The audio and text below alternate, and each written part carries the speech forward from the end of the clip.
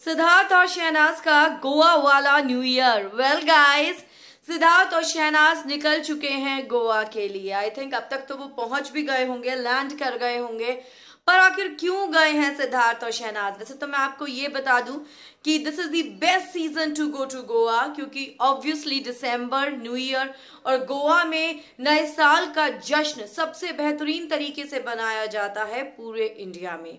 Well well, लेकिन सिद्धार्थ और Shehnaaz vacation मनाने नहीं गए हैं। वो वहाँ पर अपने अपकमिंग म्यूज़िक वीडियो के शूट के लिए गए हैं। जी हाँ मैं सभी फैंस को बता दूँ कि सिद्धार्थ और शहनाज का श्रेया घोषाल के साथ एक दमदार म्यूज़िक वीडियो आने वाला है।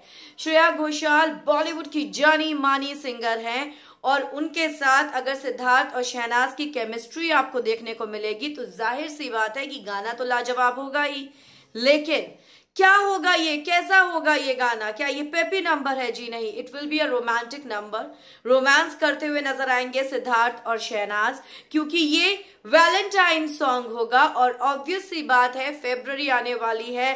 प्यार का महीना कहा जाता है लव का मंथ कहा जाता है फेब्रवरी को तो उससे पहले ही इस गाने को रिलीज़ कर दिया जाएगा। वेल well गाइस कितने एक्साइटेड हैं सारे सिद्नाजियंस मुझे कमेंट्स में ज़रूर लिखकर बताएँ। वीडियो को लाइक करें शेयर करें सब्सक्राइब नहीं किया है सब्सक्राइब करके बेल आइकन को ज़रूर दबाओ। Good bye guys